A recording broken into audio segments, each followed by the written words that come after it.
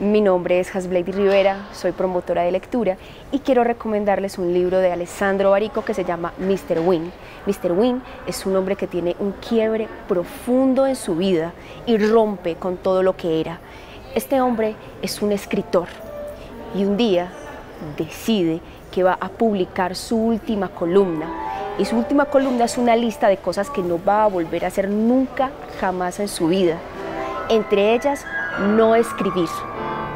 Ahora él tiene que dedicarse a algo y se da cuenta que no puede dejar de escribir y se dedica a escribir retratos. Los invito a que busquen este maravilloso libro en su biblioteca pública.